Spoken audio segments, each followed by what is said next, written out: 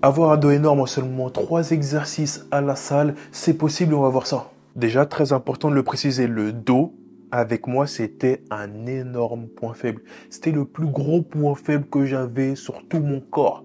Même mes jambes qui sont pas fous étaient mieux que mon dos. Mon dos, il était plat. Vraiment, il y avait rien dessus. Il y avait rien. C'était une planche. Je savais même pas que c'était possible d'avoir un dos plat comme ça. Tu vois, même ceux qui font pas de sport, ils ont plus de dos que moi avant. Mais j'ai pu dépasser ça. J'ai pu dépasser mes limites, j'ai pu faire des choses bien. J'ai pu avoir une science du dos. Découvrir les bons mouvements, les bons trucs pour enfin débloquer mon dos. Mais cela dit, quand j'ai une flemme d'aller à la salle, ben je dois bosser mon dos, j'ai trois exercices types à faire pour garder mon dos c'est important. Premier exercice, tirage horizontal en prise serrée. Soit je prends une prise serrée, soit je prends une prise largeur des épaules. Ce que j'aime bien faire, c'est bloquer une à deux secondes de contraction. Ça, ça change tout. Quand tu fais ça, ça change tout. Pour beaucoup de mouvements et pour beaucoup de muscles, quand tu bloques, ça change tout. L'exercice, c'est plus le même, il est plus dur. Ça fait mal, mais ça fait du bien. On en a besoin. J'aime bien aller à 8 ou 10 répétitions en lourd. Cet exercice-là, en général, je mets lourd. Dans la vidéo, je précise, c'est des charges de démonstration, tu vois. Mais de base, ah, je mets presque tout. Hein, de, là, je sais pas, il y en a combien sur ça, mais je mets presque tout de base et je fais ça bien. Et je me rappelle, avant, je mettais ma ceinture. Parce que je mettais vraiment lourd. Là, ça va, mes lombaires sont beaucoup plus forts, sont beaucoup plus résistants. Mais il faut que je réessaye derrière avec la ceinture. Mais je mets lourd. Par contre, quand je dis de mettre lourd, c'est suffisamment lourd pour bloquer deux secondes ou une seconde. Exemple, si par exemple je mets 50 kilos en lourd et j'arrive pas à bloquer, eh ben je descends, je mets 40, 45 ou même 35. Le plus important, c'est que ce soit lourd pour toi. Lourd pour toi et lourd pour moi, c'est pas la même chose, on n'a pas le même niveau. Dans tous les cas, faut que ça soit dur pour toi. C'est dur, mais tu peux bloquer deux secondes et aussi, autre paramètre, tu peux au moins aller à 8 répétitions. Donc voilà, faut prendre en charge, enfin, faut prendre en compte la charge et aussi l'endurance musculaire que tu peux mettre et que tu peux évaluer. Et ça, c'est que toi qui pourras le voir. Deuxième exercice, tirage vertical. Il me semble que ouais, c'est vertical. Parce qu'à chaque fois, je les confonds entre vertical et horizontal. Mais c'est le tirage vertical. Alors ça, même principe. Pareil. Mais en prise, en général, je suis plus sur une prise large. Là, j'ai une prise un peu bizarre, mais en général, j'aime bien prendre large dans ce mouvement. Je bloque aussi une seconde, même principe. Je mets lourd, je fracasse bien mon dos et ça fait la diff. Franchement, ça fait la diff.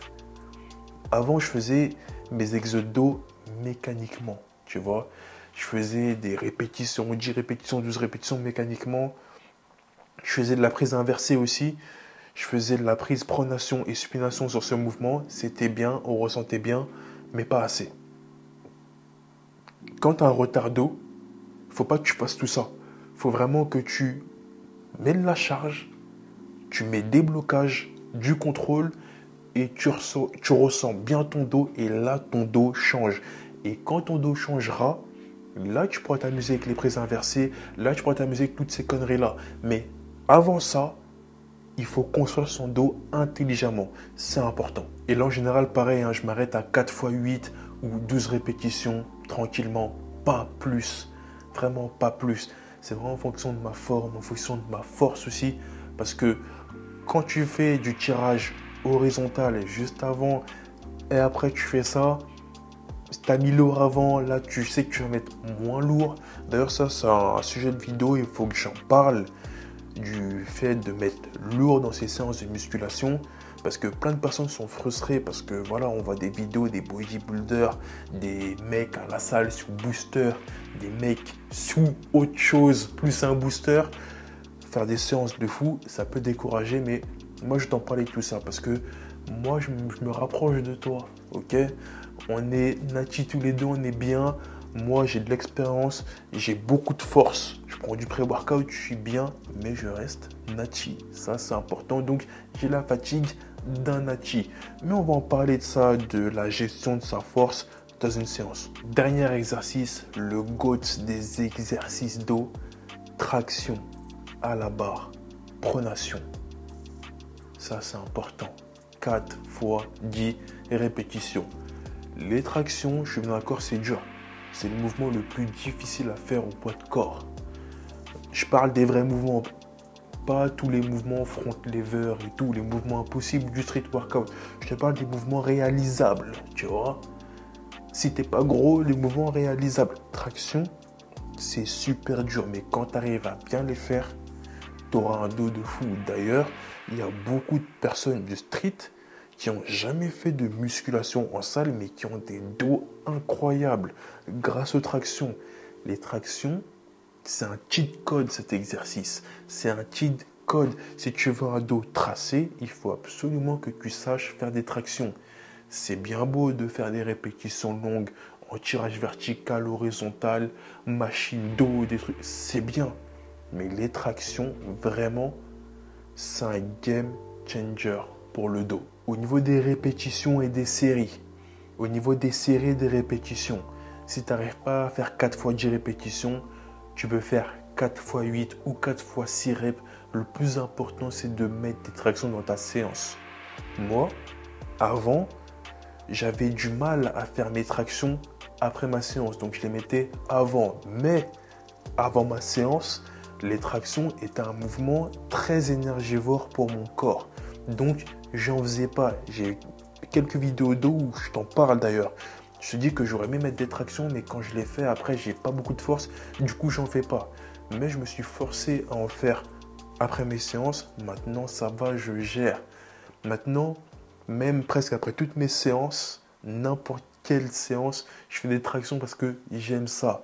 Et je suis lourd là, je suis gros là, et j'ai envie de reprendre les tractions. J'ai vraiment envie de reprendre les tractions parce que je sais que quand je vais perdre du poids, ça va être incroyable. Là, je fais traction, muscle up, tout, mais quand je vais perdre encore plus, ah, ça va être trop. On va enchaîner des 40, des 50 tractions, ça va être incroyable. Et t'inquiète pas, ces tractions sont pas propres. T'inquiète pas si tu bouges un peu, si tu trembles et tout. Tu n'auras pas des tractions droites comme les miennes, comme ça. C'est avec le temps, c'est avec la pratique, c'est avec l'effort, c'est avec la rage, c'est avec tout ça que tu vas réussir. Mets la musique au début, mets un son, fais ça bien, motive-toi, contrôle le mouvement, contrôle ton corps, apprends ça bien et ça va bien se passer. Après, tu pourras monter plus haut, tu pourras te challenger tout seul et après, bah, tu vas enchaîner tes tractions tranquillement. J'ai jamais fait de traction avec élastique, mais si ça peut t'aider, mets un élastique. Parce que j'en ai déjà fait ici. J'ai déjà fait pour tester, mais je savais déjà faire des tractions. Et j'ai vu qu'en fait, c'était vraiment trop facile. Donc, tout dépend de la résistance, tout dépend de ce que tu as. Mets un élastique, comme ça, tu pourras bien faire tes tractions, tu pourras être plus à l'aise. En tout cas, c'est tout pour moi. J'espère que tu as pu kiffer cette vidéo. Si c'est le cas, mets un j'aime, mets un commentaire, abonne-toi à la chaîne, mets le code DAMS sur MyProtein parce que c'est important. Ça fait grandir la chaîne, ça fait évoluer la chaîne. Et n'oublie pas que je propose des suivis sur 12 semaines. Si tu veux avoir ton body summer, ton body goal, et eh ben c'est avec moi que tu l'auras.